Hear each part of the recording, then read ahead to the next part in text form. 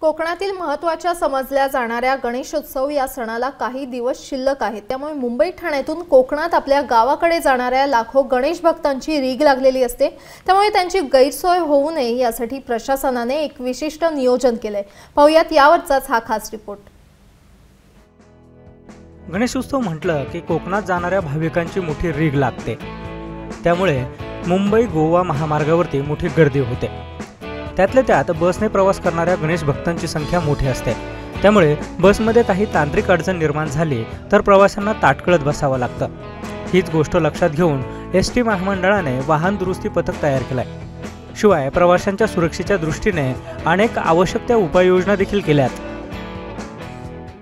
साधारणपणे दोन ते अडीच हजार गाड्या या कोकणामध्ये जाणार आहेत. रायगड विभागातून आपण साधारण ऐंशी ते शंभर गाड्यांचं आपण नियोजन केलेलं आहे. सदर गाड्या आपण मुंबई ठाणे विभागांना मदतीसाठी देणार आहोत जेणेकरून आपली वाहतूक सुरळीत होऊ शकेल. याकरिता आम्ही आमच्या नव्वद बसेस ऑलमोस्ट काढलेल्या आहेत. तसेच आमची गस्त पथकं त्या कालावधीमध्ये कार्यरत असतील. तसेच आमच्या ब्रेकडाऊन व्हॅनसुद्धा आम्ही तयार ठेवलेल्या आहेत. ज्याच्यामध्ये आमचे मेकॅनिक्स कुठलीही गाडी ब्रेकडाऊन जर पडली तर तो ब्रेकडाऊन अटेंड करण्यासाठी तयार असतील. आमच्या प्रत्येक स्टँडवरती सी सी टी व्ही कॅमेऱ्याचं आपण नियोजन केलेलं आहे. जेणेकरून कुठलीही घटना घडली तर ती त्या कॅमेऱ्यामध्ये बंदिस्त होऊ शकेल. आणि सुरक्षितता यामुळे प्रवाशांची आपल्याला जपता येईल.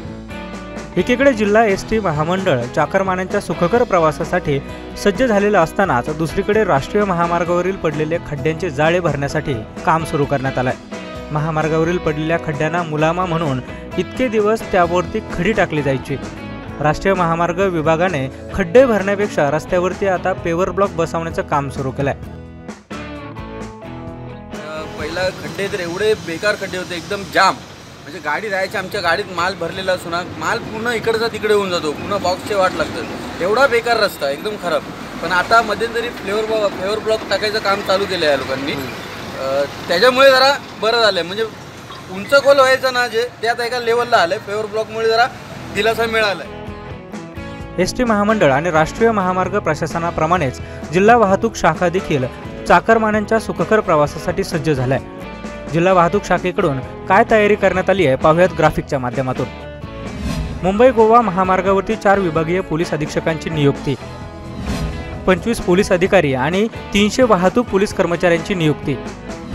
रुग्णवाहिका आणि क्रेनची व्यवस्था. बावीस ठिकाणी सीसीटीव्ही कॅमेरे. ठिकठिकाणी दिशादर्शक फलक. प्रवासी आणि वाहन चालकांसाठी तीन हेल्पलाईन क्रमांक. एकूणच कोकणातील गणेश भक्तांचा प्रवास सुखकर व्हावा यासाठी प्रशासन सज्ज झालंय. Swapnil Patil A M news Pen Raigad.